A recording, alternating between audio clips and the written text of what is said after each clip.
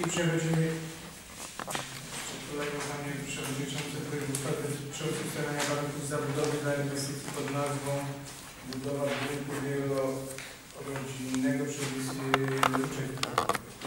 Merytoryczna regulacja sprawy paragraf pierwszy opiniuje się negatywnie ustaleń warunków zabudowy dla inwestycji pod nazwą budowa budynku mieszkalnego wielorodzinnego z usługami i garażem Em, przy ulicy wraz z infrastrukturą techniczną i komunikacyjną em, przy ulicy Uczeń w Krakowie w związku z tym Wydziału Architektury Urbanistyki UNK. Paragraf drugi uchwały w świetle z podjęcia w wyniku głosowania 4 za 0 przeciw 0 wstrzymujących się. Opinia zarządu pozytywna 4 za 1 głośnik.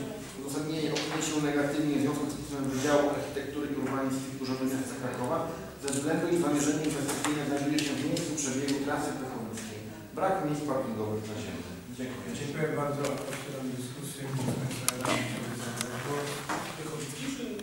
Otwieram dyskusję. Pychowickie. Nie ma chętnych, zatem poddam pod głosowanie. Kto z Państwa radnych jest za przyjęciem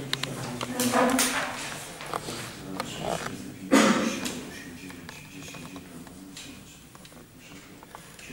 Osiemnaście. Dziękuję.